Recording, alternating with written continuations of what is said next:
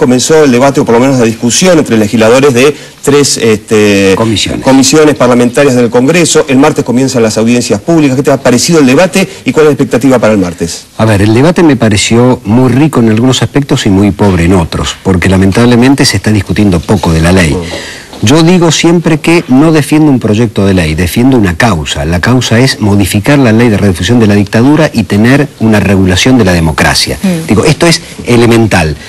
Quienes queremos esto, sean del partido que sean, tienen la obligación y el deber moral de discutir un proyecto de ley o de discutir varios proyectos de ley. Y los que no quieren esto, lo que les da lo mismo la ley de la dictadura o la ley de la democracia, van a tratar de utilizar cualquier artilugio para prolongar el debate que lleva 26 años. Gustavo, una cosa que ha cuestionado la oposición es la incorporación de las telefónicas a la posibilidad de tener medios de comunicación. ¿Cuál es tu visión?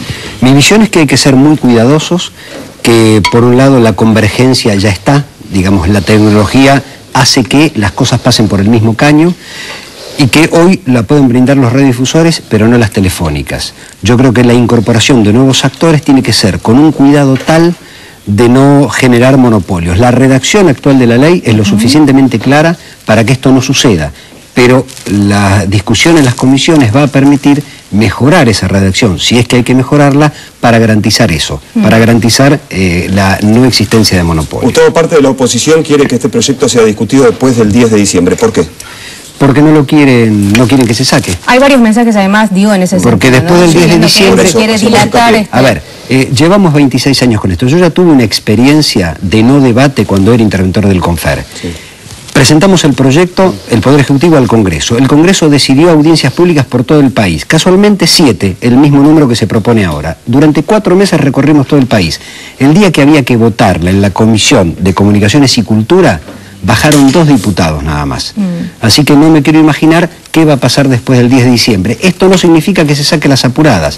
Podemos discutirla, eh, discutirla el tiempo que sea Claro. necesario, eh, 24 horas seguidas durante 20 días, pero hay que sacar una ley que modifique la de la dictadura, que sea de la democracia y que nos garantice una redifusión democrática para todos. Otro tema controvertido es el que tiene que ver con la autoridad de aplicación. ¿Cómo está conformada en el nuevo proyecto de ley y cuál es tu opinión respecto de, una vez más, los cuestionamientos que hace la oposición? Yo creo que está bien conformada y siempre se puede mejorar. Eh, se ha tomado el modelo de la FCC de Estados Unidos, tres del Ejecutivo y dos eh, del Tres integrantes del Ejecutivo, dos y del dos del Congreso, Congreso. por la segunda y la tercera minoría. Exacto, hay otros proyectos como el de la concertación que plantea nueve, tres del Ejecutivo, tres del Senado y tres de diputados, por primera, segunda y tercera minoría. Eh, a ver, eh, lo más importante, el gran paso que se está dando es que se convierte en un órgano colegiado con participación de la oposición parlamentaria. Eso es un avance abismal.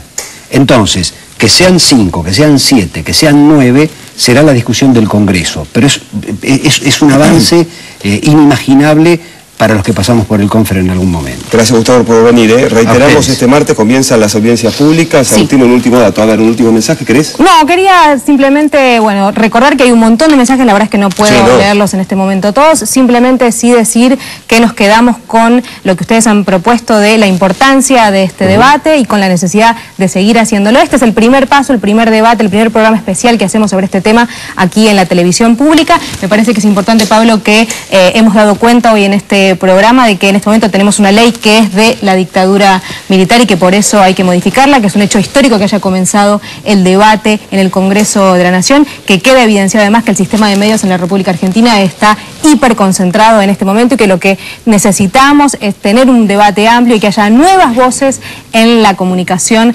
social aquí en la República Argentina. Bueno, hoy pasaron todas las voces, todas las opiniones, tratamos eh, de poder entender entre todos y dialogar y poder este, participar en lo que tiene que ver con los puntos centrales de este proyecto de ley. Seguiremos muy atentos a este tema, nos despedimos, punto final para esta edición, nos acasa el tiempo, muchísimos mensajes, mucha gente que ha participado, todos los entrevistados, muchas gracias, será hasta cualquier momento. Gracias por acompañarnos.